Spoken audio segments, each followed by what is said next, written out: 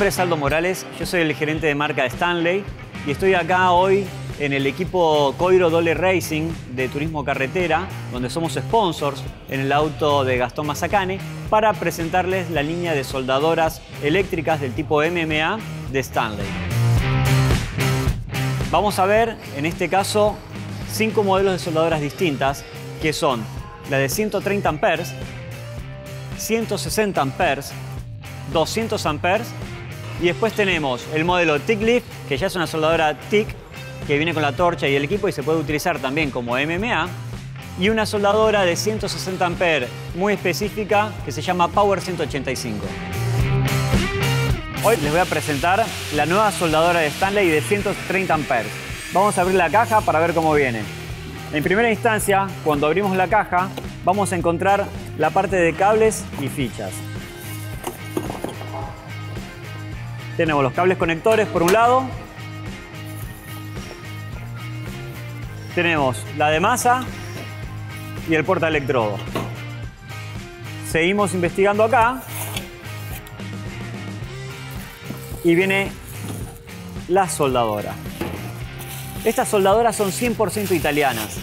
Se fabrican en la planta que tenemos en Italia, desde la plaqueta hasta la carcasa. Absolutamente todo es producido en esa planta cumple con todas las normas europeas de seguridad y normas europeas que avalan que la información que la máquina dice es 100% verídica. Esta es una máquina que de máximo está tirando 130 amperes, tiene un ciclo de trabajo del 60% a 130 amperes. Es un producto que tiene una muy fácil visualización de la graduación del amperaje y el voltaje de salida es de 60 volts que es un voltaje muy alto. Y van a ver que los enchufes, como las herramientas eléctricas que nosotros comercializamos, están normalizados, están bajo normas IRAM, están por seguridad eléctrica certificados en la República Argentina. Eso nos da la seguridad que tenemos un producto que nos va a cuidar. Tiene una potencia máxima de 130 A, como les decía, y eso le permite utilizar electrodos de hasta 3,2 milímetros.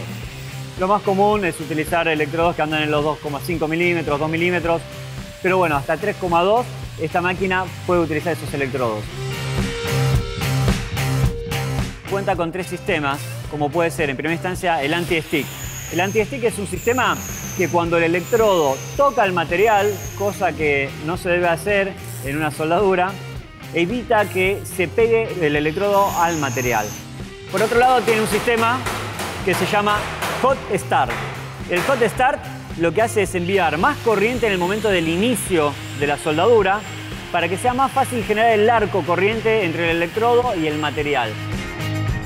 Y por último tenemos el sistema que se llama Arc Force. Cuando uno está soldando, mantiene una distancia de unos 5 milímetros aproximadamente entre el material y el electrodo.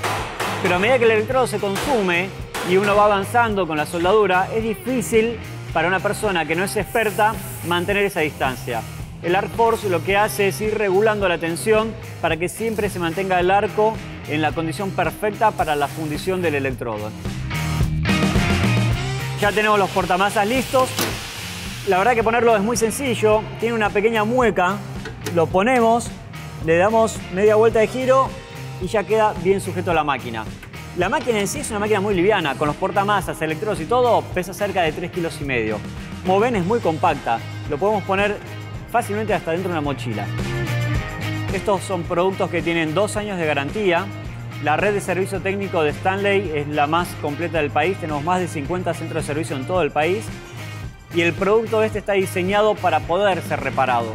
El componente más importante, uno de los más importantes, es el IGBT de estas plaquetas.